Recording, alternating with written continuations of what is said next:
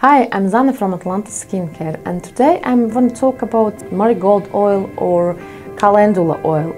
Calendula officinalis is this plant name of a plant which is base of calendula oil and it has been used for centuries for all different healings on your skin.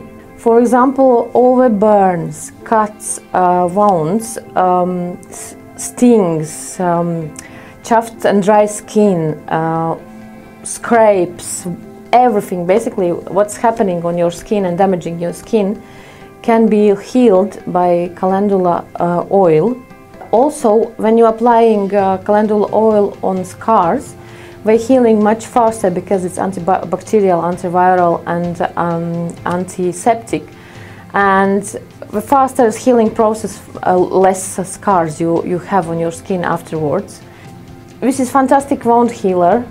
So if you, I remember when I, when my sister had um, her her earring done, she used calendula oil as well, and it's healed very very quickly.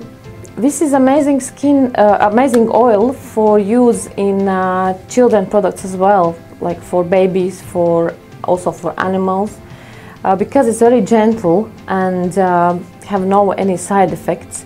It can be inco incorporated in uh, bath uh, products, in creams, in compresses, in ointments, in massage oils. You can use it on your own as an oil, but remember again, it's orange, so it could stain your skin as well and your clothes. It's amazing for dry skin on your face as well because it's gentle and uh, it's soothing. It's good emollient, uh, it uh, moisturizes skin and um, also it nourishes, nourishes skin because of lots of car carotenoids uh, in uh, this oil. You can use also uh, calendula extract, not only calendula oil, on, on your cuts and wounds. Difference is calendula extract is made from on glycerin or alcohol basis, where calendula oil is calendula uh, flowers macerated in, in uh, oil. I'm using in Atlantis skincare products uh, my own calendula oil.